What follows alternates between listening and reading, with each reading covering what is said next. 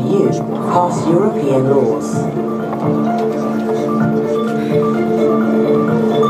In fact, many of the laws that affect your daily life, like the quality of the water you drink, your rights as a consumer, or the safety of the products you buy, are decided on a European level.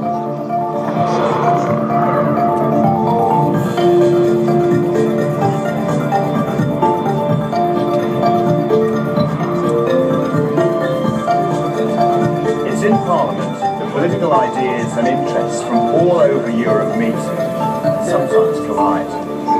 More than 160 national political parties are represented in the various political groups, making the passing of legislation a complex yet fascinating procedure. Most of the preparatory work is done here in Brussels. The final vote is usually taken at the official seat of Parliament.